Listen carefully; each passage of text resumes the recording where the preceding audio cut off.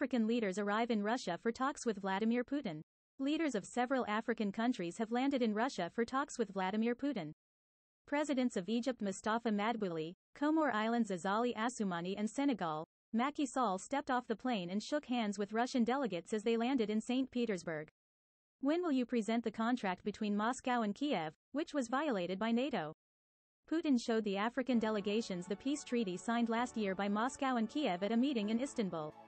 The president of the Russian Federation explained that the Treaty on Guarantees of Permanent Sovereignty and Security of Ukraine included 18 articles, and there were annexes to it. The document regulates, among other things, the number of armed forces of Ukraine. Putin emphasized that after Russia withdrew its troops from the Kiev region, the Ukrainian authorities, at the behest of Washington, threw this treaty to the dustbin of history. For this reason, Moscow no longer believes in tears, and will go all the way. The lies and deceptions of the West were not one and two. Putin with details of the peace treaty.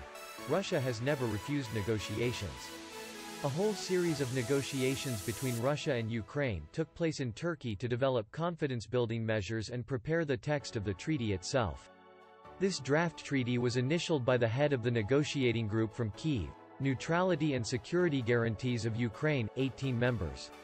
In addition, there is an appendix to it. It applies both to the armed forces and to other things. Everything is written down to units of military equipment and to the personnel of the armed forces. This document was initialed by the Kiev delegation. But after we, as promised, withdrew the troops from Kiev, the Kiev authorities, as their masters usually do, threw everything into the dustbin of history. Let's put it this very neatly and intelligently.